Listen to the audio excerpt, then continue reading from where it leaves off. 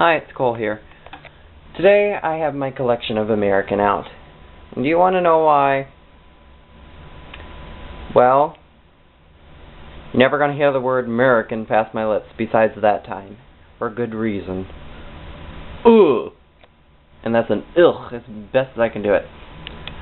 Now anyways, besides that bit of humor, I'd like to talk about American today because it's confused so much, and I don't blame people. I mean, it can be tricky. I bought. Let me put this down real quick, slowly, so Vicky Hall doesn't get sick. Uh, don't worry, Vicky. I'm not trying to pick on you. Uh, here we go. You see this? Prime example of. I mean, if some people like Whitehall because it's more vintage than it is. American, just as utilitarian. American tends to break a bit more than Whitehall, though. Now this is Whitehall. I keep it under my desk because I really don't use it for anything. I don't know what the hell to use it for. Uh, three, ugly. Now that's a defining. That's one of the defining features. If it has post feet, this is Indiana, with a little circle on the edge too, and it'll be sharp. An American will have more clarity. You see how this sparkles? Just, just see how that gets the light so well. You can see the little shadow. Just refracts like water. And you see this. It, the shadow's not as the shadow's more defined on this because the squares are bigger, but it doesn't sparkle near as much. So look, it glints. It doesn't sparkle. It isn't clear. And the spears here, they're rounded. I hope you can see that. They're a bit rounded. The post-like feet, the rounded features and the fact that it only has two mold seams. American will always have three or more, even on the cup. Surprisingly enough, Sharon Depression Glass, my finger making a point, Sharon Depression Glass has three mold seams in the cups, which is really why I've started liking Sharon the past month. Now, another thing to note, sometimes the mold seams aren't polished completely off. Like on this, I found this at Goodwill for $2. One of my favorite finds, it is a Fostoria American butter dish. It's a, a, a, lemon dish. It can be used as butter. It makes a nice butter dish. Uh, but a lemon dish it is. And see this knob? How it's shaped like that? Let's see if I can get that. It is a hexagon. Now, Indiana will try to remake that making their own molds and reusing Fostoria molds. They called it American Whitehall. Now this is polished. It's fire polished. Very smooth. Very high quality feeling. You see that edge? See how even the edge shines? It's been fire polished. Now, uh, while I'm at it, what if you ever have anything two-piece, I always take things out like this so I get a firm grip on it. It will have chips, most likely. This has chips. Not bad. I mean, considering Oh, was it this side? Yes, it was this side. Considering it is, most likely, they made the butter dish from 1915 to 1941. I think it was 1945 to 1976. But this butter dish appears to be older. So I finally tracked down the lady who owned it, who gave it to Goodwill, and she said, I gave that thing away. My mother had it, and she um she would put it out every day, and it's just I knew someone would find it at Goodwill that cared for it, and I found it. So she was really happy, and she gave me she gave me this. Where, where, where is it? Where'd it go? Oh yeah. She gave me. Turns out at Goodwill, I found one of these. She gave me another. This is Homer Laughlin Greek Key. She just gave me this little bowl. It was so kind of her. I really like Greek key. Ivory, Greek key. It's just wonderful. Eggshell Nautilus is just wonderful. Now, there are two styles. These are the iced teas. The, all this was sent to me by Sharon Thompson Sullivan, except for this saucer. This is Flow Blue, Touraine Flow Blue, and this cup. Because she, she didn't send me any sauce. She didn't have any, I don't think. But she sent me her cups now, a few of the cups, let me go get some, and I'll show you how quality varies on Fostoria immensely. Pull it out. Now, sometimes you get a lazy worker. It happens everywhere. Look at that. Of course, it's still usable, but look how it glints like Whitehall instead of sparkling like American. The mold seams are so prevalent, the handle's uncomfortable. It's not, it's not Sharon's fault, it's the worker's fault who made it. I mean, I can't send it out to get refire polished, I would imagine. Which I might eventually. Sentimental value and all that. And another thing, look at this. You see that little itty bitty line in there? Those cracks are very common in Fostoria. It's very strong. Drop it, it will crack. And you can, you can't hear it, but it goes, if I move it just a little bit, very faintly.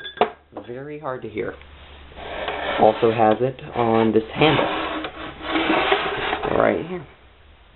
It just happens. I mean, they're still usable. They're beautiful, too. I love American. This is the tea-size sugar and creamer. And there are two styles of iced teas. These have flared rims, as you can see, and these have not. Uh, the rims aren't as flared. You can see the two right there. See the difference? Thinner, more flared, thicker. I think the thicker ones are older. Another good thing is that American the scratches are hit so well by these rays, and it's just very sparkly pattern. Now, the luncheon plates, these edges can be sharp or they can be flowing a little bit. See that one sharp, this edge is flowing. Another good thing about American, well, besides the salt, salt shakers, they're just so utilitarian. I love using them.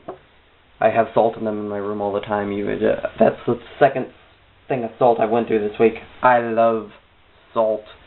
Eat so much mashed potatoes. It's unbelievable. The Irish in me. And here's something Gail Huggard sent me.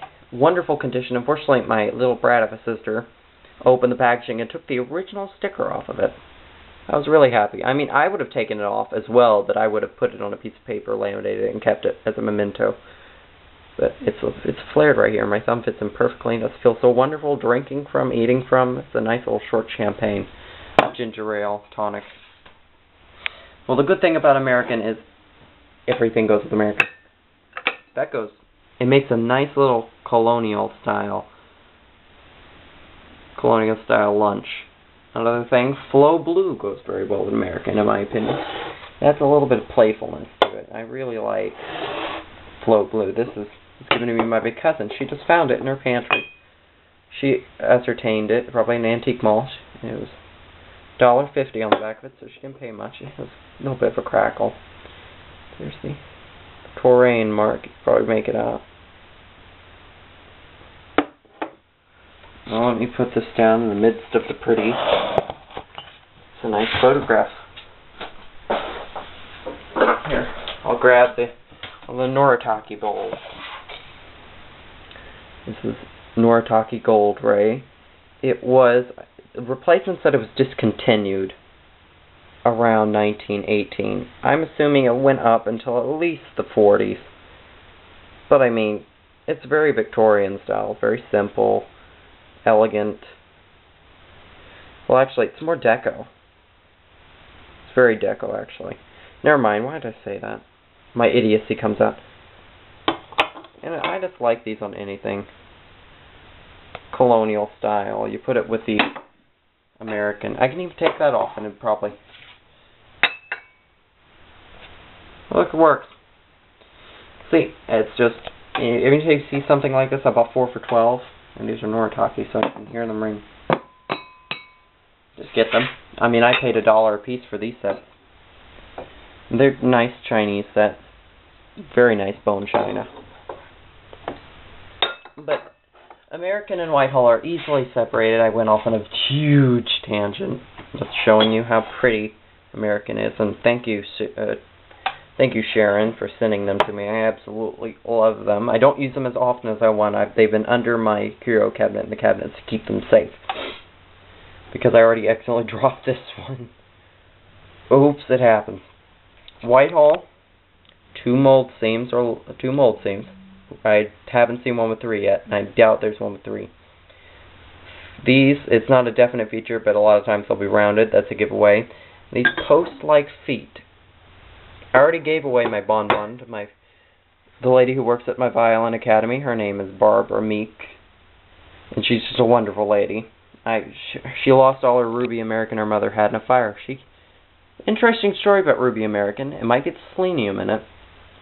But she said when her house was on fire, her curio cabinet was the most was the brightest thing in that house, and the red glass just popped out of the cabinet. It went through the cabinet, literally flew through the wood, flew through the glass. Of course, glass shattered, and its pieces are embedded in her lawn.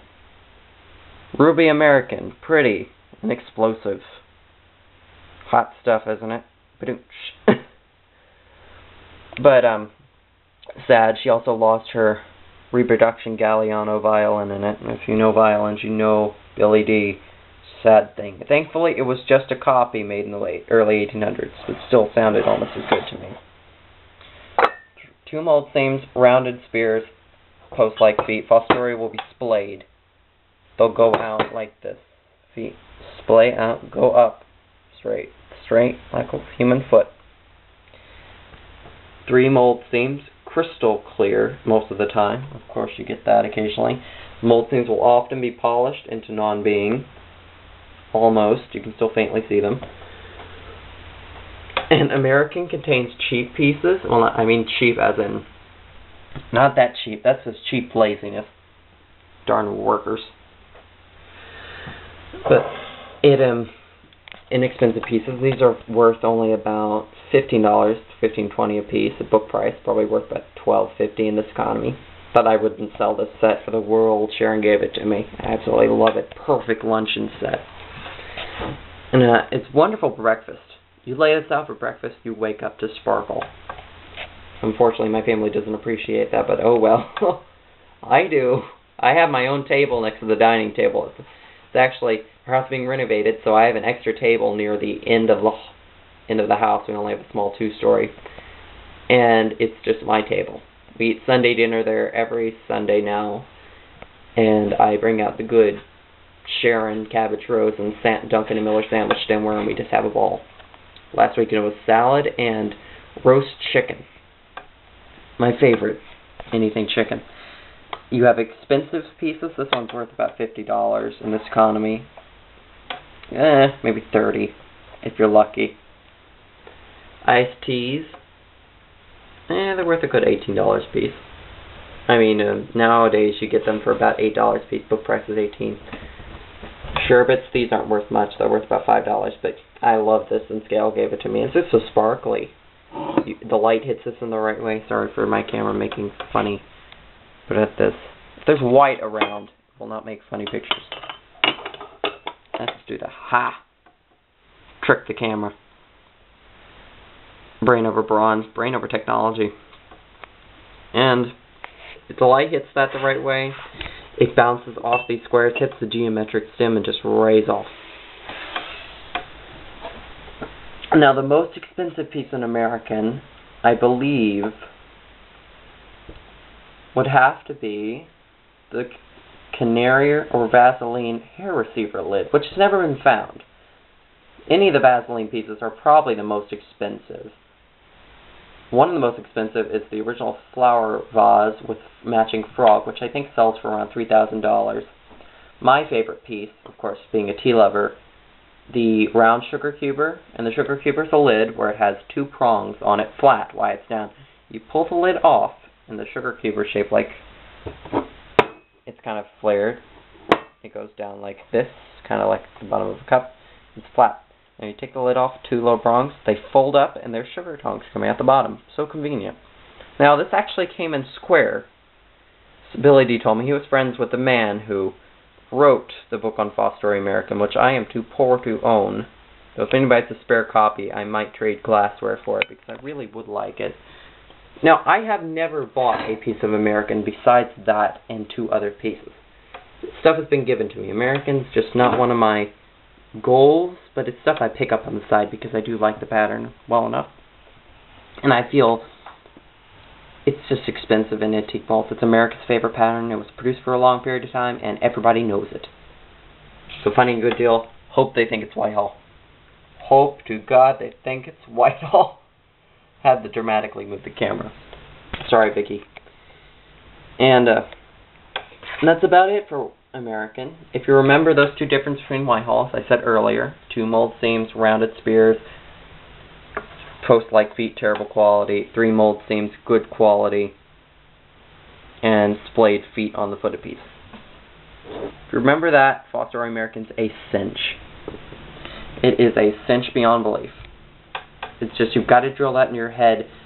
Whitehall has two mold seams, American has three or more.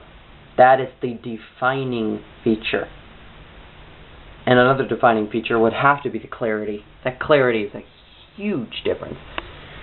And Jeannette's cube will not even come close. It will be closer to Whitehall. It's even better than Whitehall, in my opinion.